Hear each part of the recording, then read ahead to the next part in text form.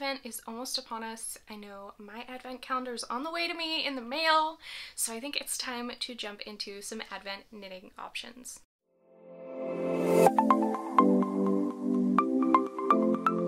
Hello! Welcome or welcome back to my channel. My name is Amanda and this is and Lily, my channel all about knitting.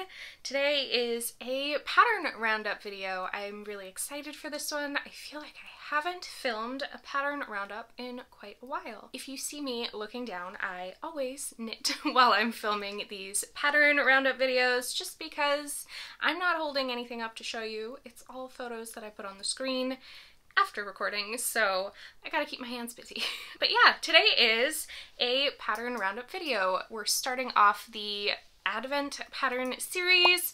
I have a couple videos planned for this, um, and this first one here is going to be sweater patterns for Advent knitting. Sweater knitting for Advent is something that I think for some reason I never really thought about until maybe this past year. I found a couple patterns that I thought would be really great for knitting with my advent calendar and it kind of just opened the floodgates and I've had a lot of fun looking for sweater patterns that will work for advent calendars. So before we jump on into all of these patterns, there are a few places you can find me on the internet. The main one is birchandlilyfiber.com. You can also find me on Instagram at birch.and.lily and everything I talk about today and all the links to where you can find those things and all of my social media is always down below in the description. So I have sorted these patterns out kind of by style of pattern in a way. I have some cardigans, some pullovers, and I do actually have one tank pattern as well. So I thought let's start with cardigans and we'll move on from there. I also will have all of the patterns time stamped down below on the video along with links. So if you want to kind of jump around, you can do that as well. So let's get me scooched on over here so I have room to put photos up on the screen and jump on in to cardigans.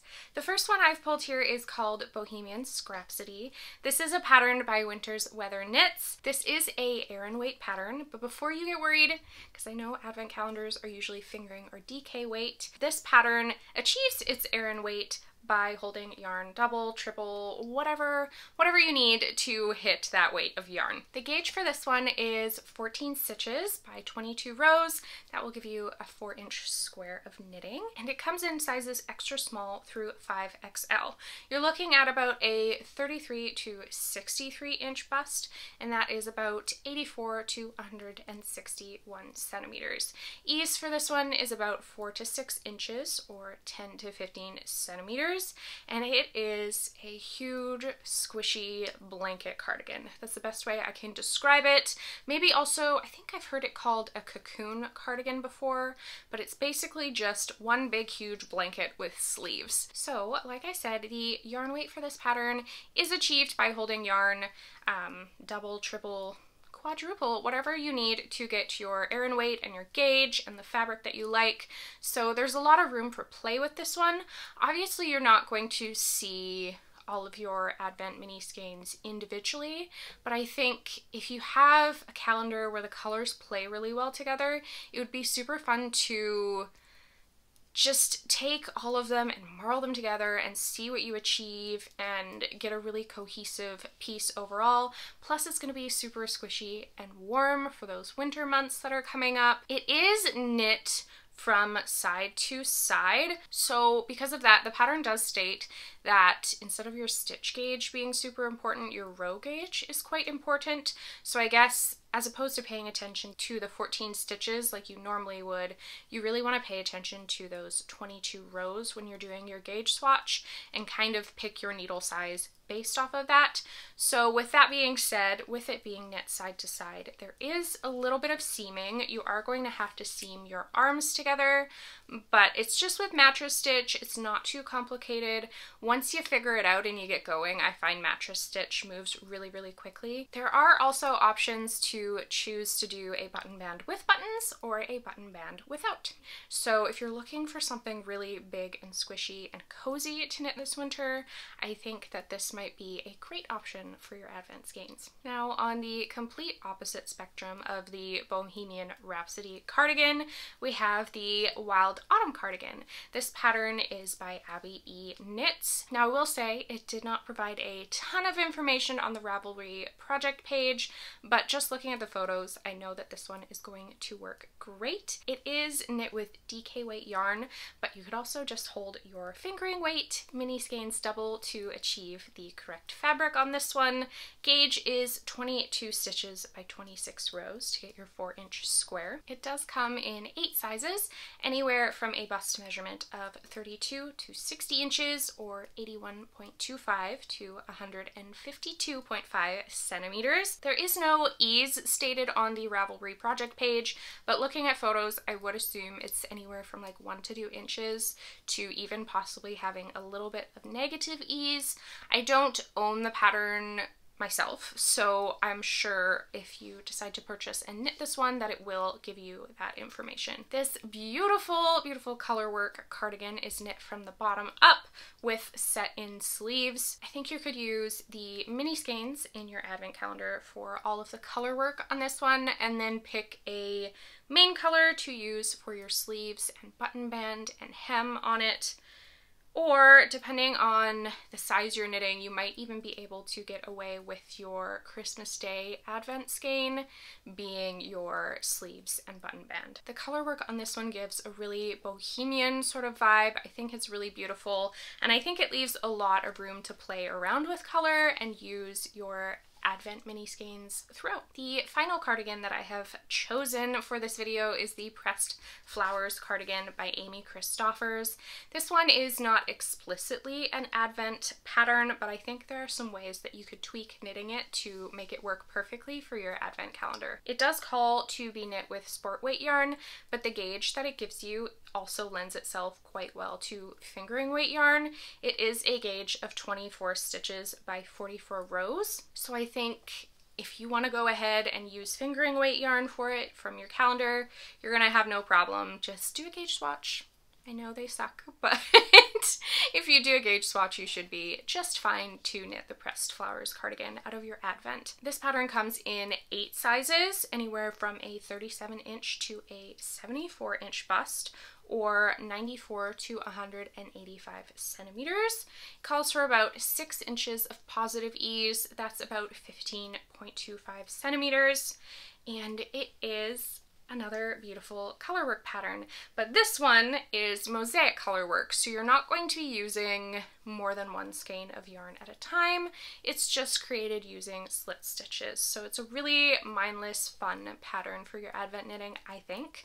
Obviously you have to pay a little bit of attention, but not as much as a colorwork pattern. So the way I think that you could adjust this one to use with your advent calendar is first of all to lengthen it a little bit. The model in the photos is wearing a more cropped length cardigan, but I think you could add a good couple more rows of flower motifs to give you a little bit more room to play with your advent skeins. And then what I would do is just make each flower row, you can see there are rows of flowers that run from left to right across the cardigan.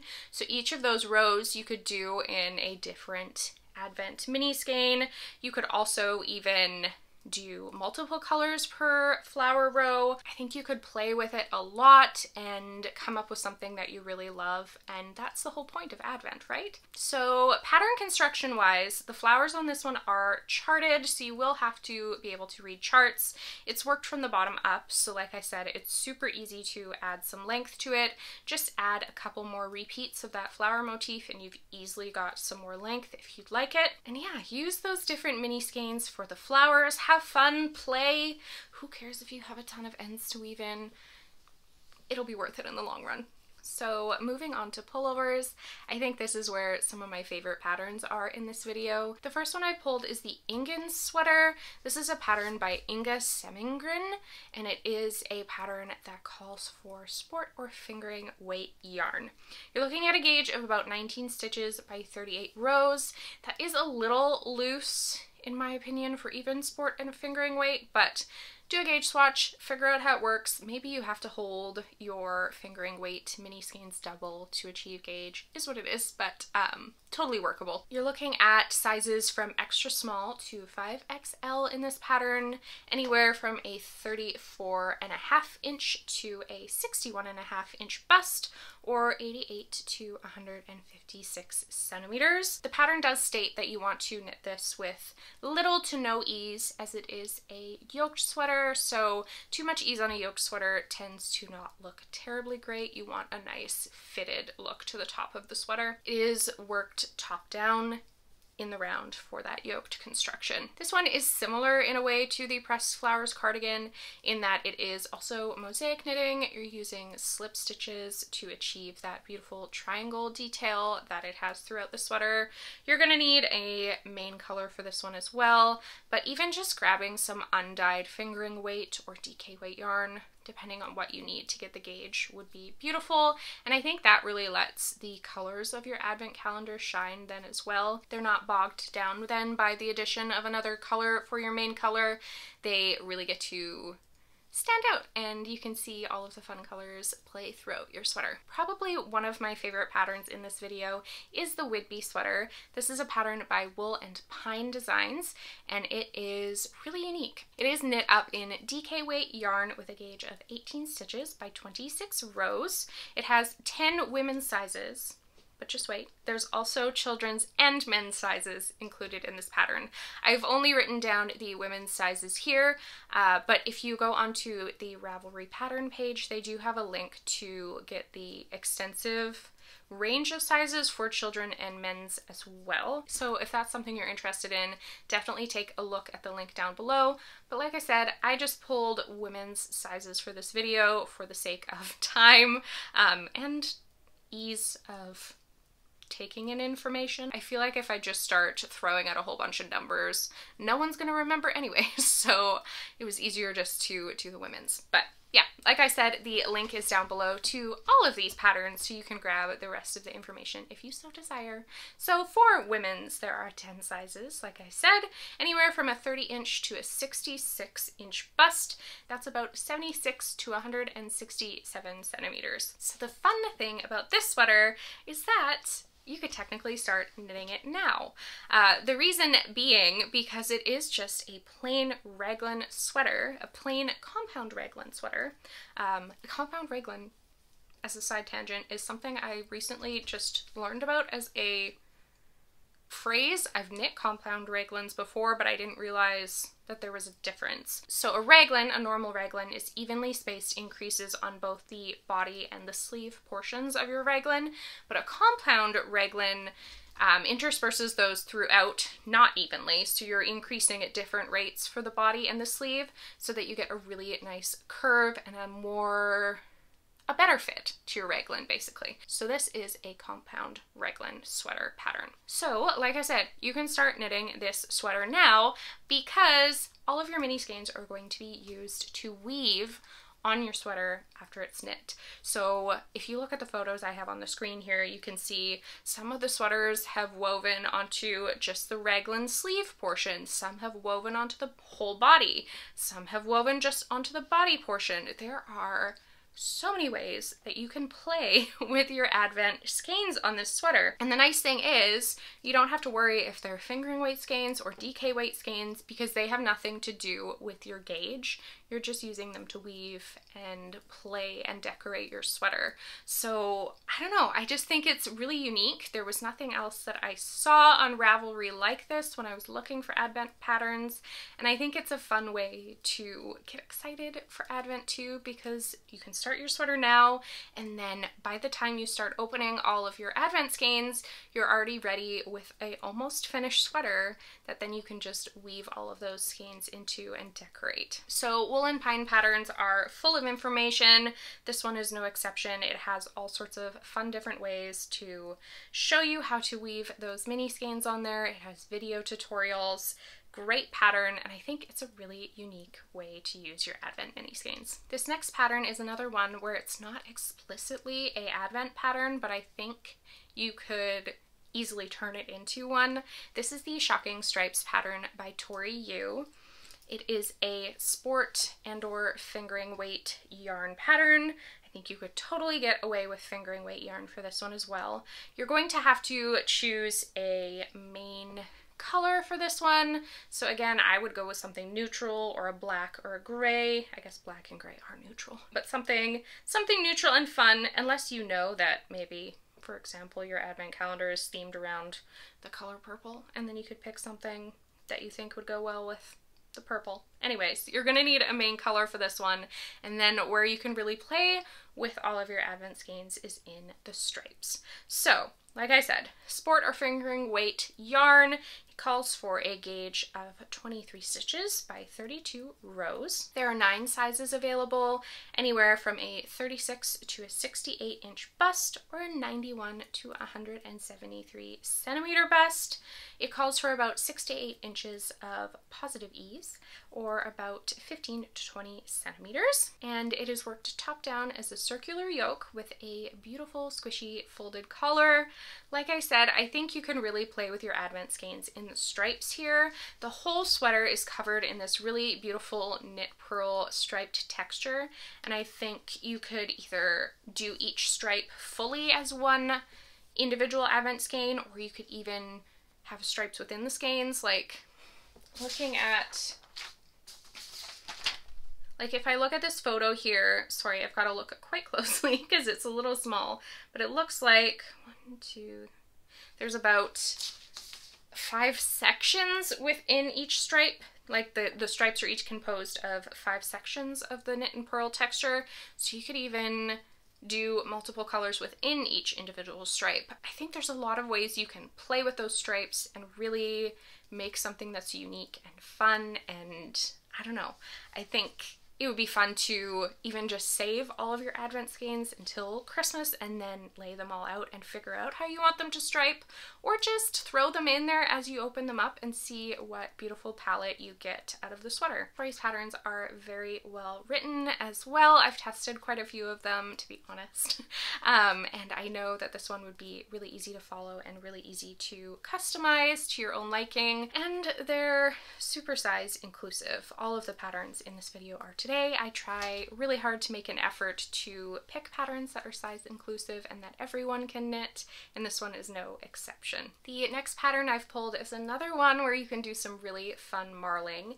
This is the Stay Pull by Park Williams, and this one calls for bulky weight yarn, again created by holding strands of yarn together. Something I loved about reading the Ravelry page for this one is that it gave you options of what you could hold together to get the correct gauge, and it does say that holding four skeins or four strands of fingering weight yarn together should give you the called for bulky weight. So I think that's, again, a really fun way to mix and match all of your advent skeins together and get something really unique and marled.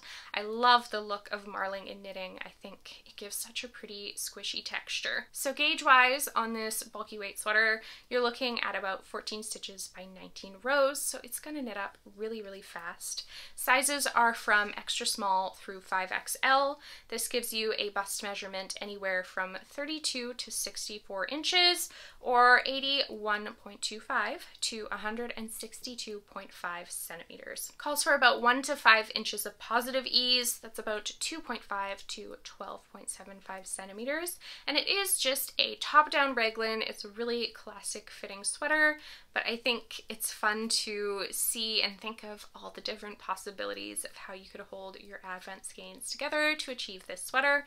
It does have, I believe, cropped and full-length versions available, so depending on what you're looking for, there's a lot of options and ways that you can play. The next two patterns coming up are in my top three along with the Whidbey sweater. This next one here is the Sea Glass sweater. It's another one by Wool and Pine. This one is a DK weight sweater. It calls for a gauge of 20 stitches by 24 rows. And again, you can hold your fingering weight advent skeins double. Maybe you have a DK weight advent. You can use it that way. I've seen people knit this sweater with fingering weight yarn as well. You're just gonna have to do a little bit of math to adjust measurements and stuff, but it is a very customizable pattern. It comes in 12 sizes, anywhere from a 33 to a 68 inch bust. That's about 84 to 173 centimeters, and it calls for about 5 to 8 inches of positive ease. That's about 12.75 to 20.25 centimeters. Like I said, there is endless room to play with this one. You can switch colors every row if you want. You could keep one main color working throughout and just switch your contrast color every couple rows.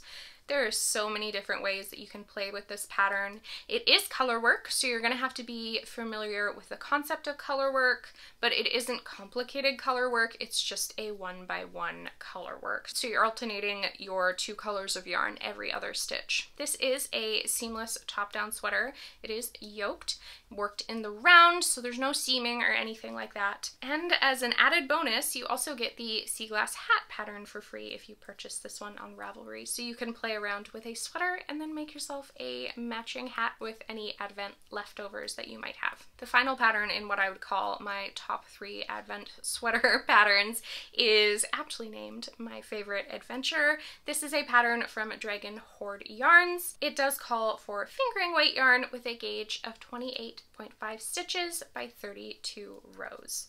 Comes in 11 sizes, anywhere from a 31 to a 67 inch bust. That is about a 78.75 to 170 centimeter bust. Calls for about 2 to 4 inches or 5 to 10 centimeters of positive ease. Something really unique about this pattern that literally none of the other ones can boast is that Tristan, the designer, sat down and took a lot of time to make sure that literally every size, all the way through the 11 sizes, will not need more than 20 grams of each color of yarn to knit this sweater up. So there are little variations throughout the pattern for the different sizes. They're all stated on the Ravelry page, but you can rest assured that no matter what size you're knitting, you're not going to need more than 20 grams of each skein to finish up this sweater.